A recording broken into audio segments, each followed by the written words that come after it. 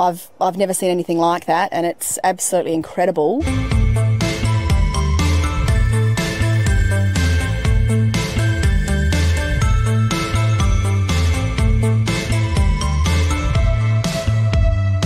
She was crying a little bit, uh, she was a little bit shaken, she was certainly in shock, uh, but I rushed her straight to uh, the vet. Picking it up, it. Off you go. Off you go. Good girl.